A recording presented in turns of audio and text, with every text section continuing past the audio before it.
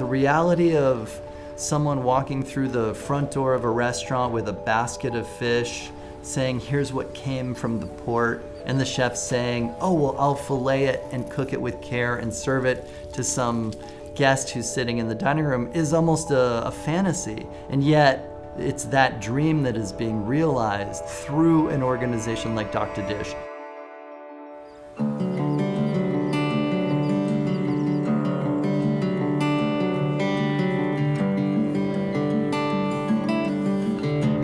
We pay Dock to Dish uh, in advance. That in and of itself is a groundbreaking relationship.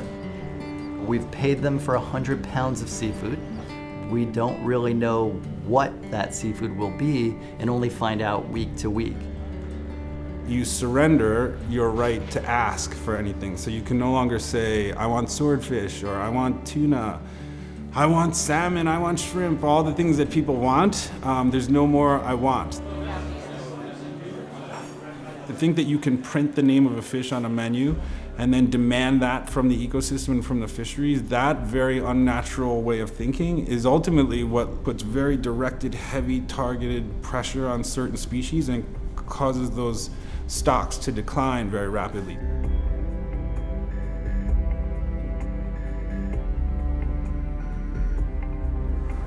The fishermen are making decisions about what's most abundant in the local ecosystem it actually turns our system on its head.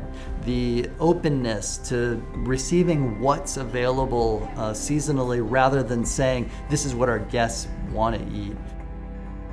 The sophistication of the dining public is, is now demanding that any great restaurant should have intimate relationships with the producers that it works with. If you look in a Dock to Dish model, there's only three hands in the whole chain of custody, as opposed to in the industrialized commodities market, there may be 20, 30, 40 sets of hands. In the whole way, that fish is losing quality.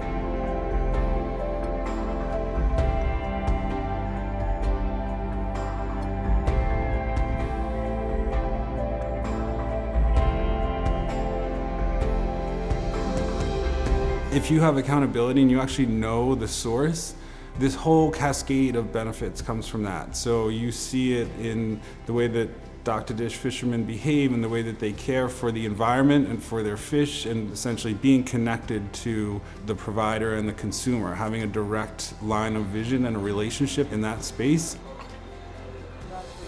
Once we've, we figured out that the, the model worked, it began to scale very quickly and now we've got Dock to Dish restaurants, port of fishery programs expanding all throughout North and Central America.